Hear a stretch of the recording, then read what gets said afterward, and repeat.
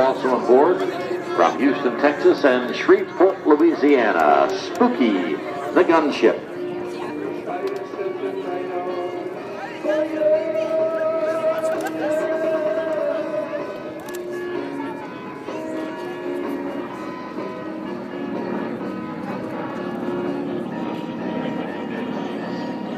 There's Karen Brinkley touching down in the O2.